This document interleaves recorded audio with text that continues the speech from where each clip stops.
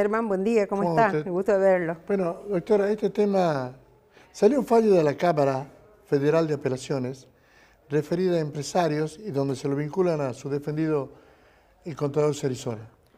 Se involucra más que vincula. Sí, le cuento esto como es. la sentencia del 7 de junio del año en curso, dictada por la Cámara Federal de Tucumán, es una sentencia eh, confirmatoria de un fallo dictado en primera instancia en abril del año 2022 eh, por el entonces doctor juez federal número 2 de Tucumán, doctor Boviña, en el marco del legajo número 2 eh, de eh, la causa principal.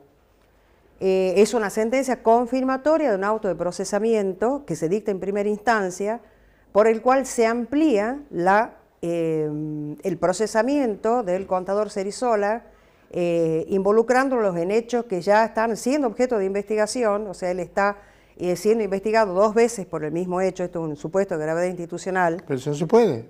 Eh, por supuesto que no se puede, estar proscripto eh, por normas de rango constitucional y por el artículo 1 del Código Procesal Penal, que prohíbe, proscribe acusar a una persona dos veces por el mismo hecho y menos aún investigarlo, lógicamente, por el mismo hecho.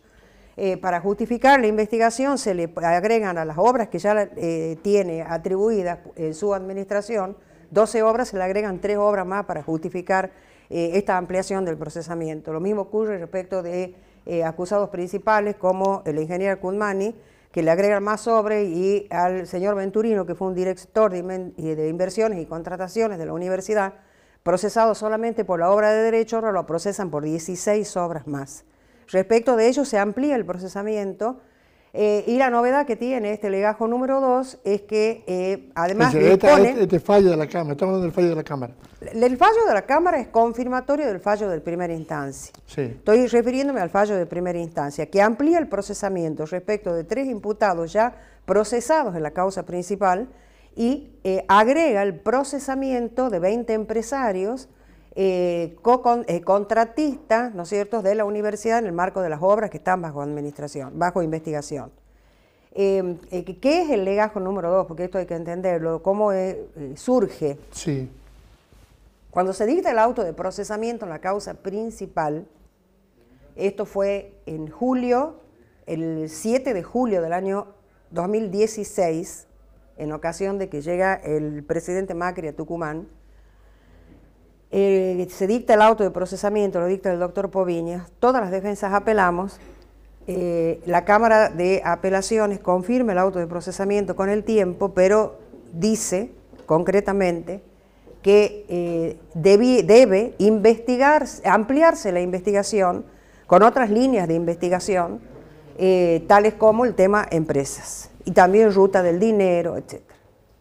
En el marco de esa, de esa orden que da la Cámara, se forman, ¿no es cierto?, el legajo número 2, que se investiga empresarios, el legajo número 3, que se investiga ruta de dinero y no llega a ningún puerto.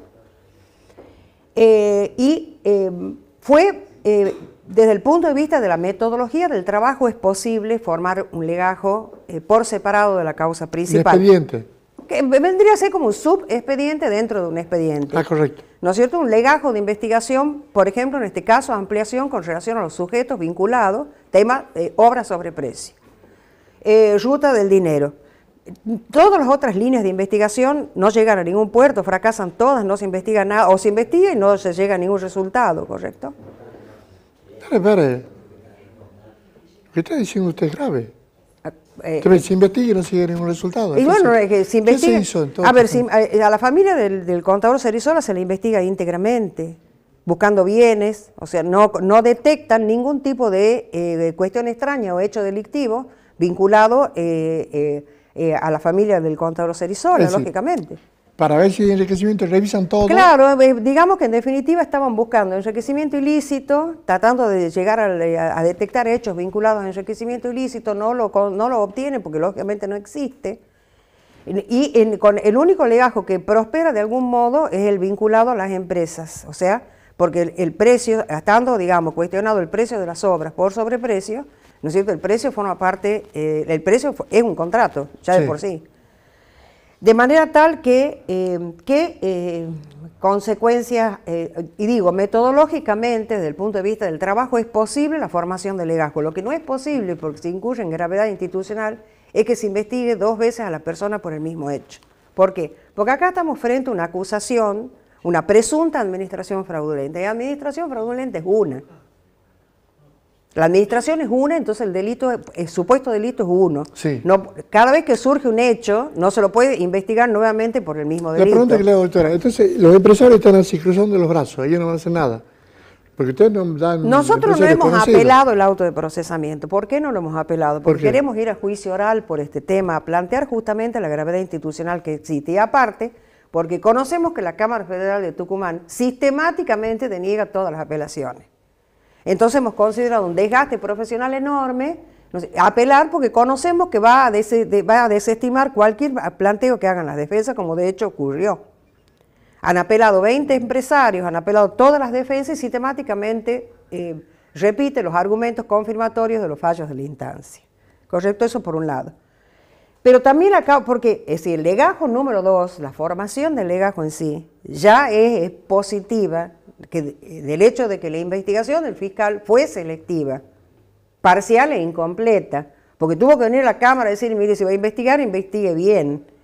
Porque hay un principio rector en materia de investigación procesal dirigido al Ministerio Público Fiscal que le prohíbe, que se llama principio de indivisibilidad de la acción, esto es procesal puro, que Sí. le prohíbe al fiscal elegir al culpable.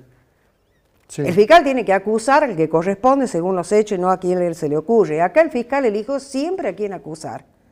Esto de los empresarios se Está- lo forzó ¿qué la Cámara. ¿De, de cuál fiscal está hablando? Estoy hablando del fiscal Carlos Alfredo Brito. Bien. Porque no, es la- no solamente en este hecho el fiscal incurre en esa gravedad institucional y elige a quien acusar arbitrariamente, sino también lo hace en el tema IMAT. Porque en el tema IMAT, cuando lo acusa el contador Cerizola, de haber él decidido, ¿no es cierto?, el, eh, el concluir con el reparto diferenciado del 40% de las utilidades en favor de la UNT, ¿no es cierto?, deliberadamente decide sobreseer al eh, doctor Campero, que fue, en definitiva, junto con el contador Mariliano, quieren, hacen la moción ante el directorio de IMAT para que esto ocurra. Eso le y toma la decisión. El doctor Campero está sobreseído y bien sobreseído, no es que esté mal sobreseído, porque realmente la decisión que toma el contador Campero Usted no es un delito.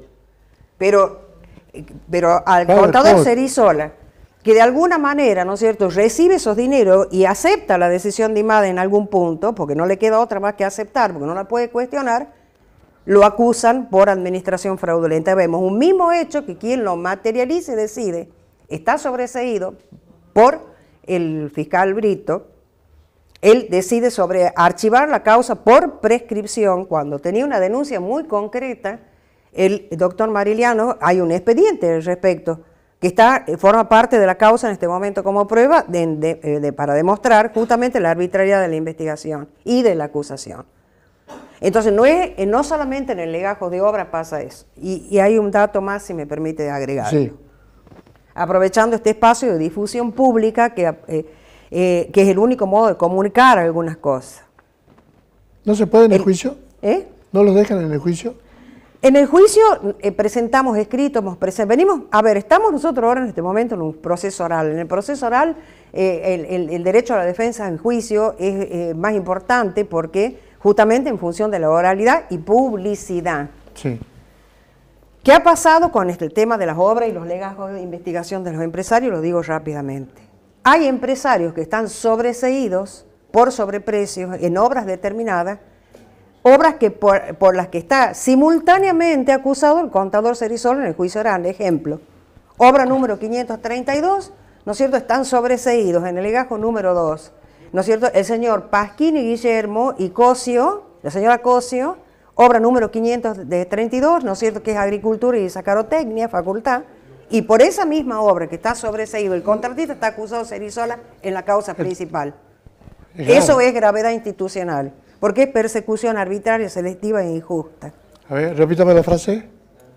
Si me acuerdo lo que dije, persecución selectiva, arbitraria e injusta, De parte del fiscal. por supuesto, y de los jueces.